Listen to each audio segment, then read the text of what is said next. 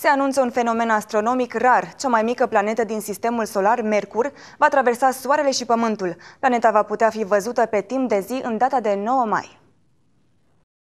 Tranzitul unei planete peste discul Soarelui este un fenomen relativ rar, astfel că evenimentul este posibil doar în condițiile unei alinieri perfecte între Soare, Mercur și Pământ. Spectacolul va începe la ora 13 și 12 minute și va dura 7 ore și jumătate, potrivit NASA. Amatorii de fenomene astronomice vor observa un disc negru de mici dimensiuni, în deplasare spre astru. Observarea tranzitului va fi posibilă cu ajutorul unui telescop și un filtru solar adecvat. Următorul tranzit al lui Mercur va fi în 11 noiembrie 2019.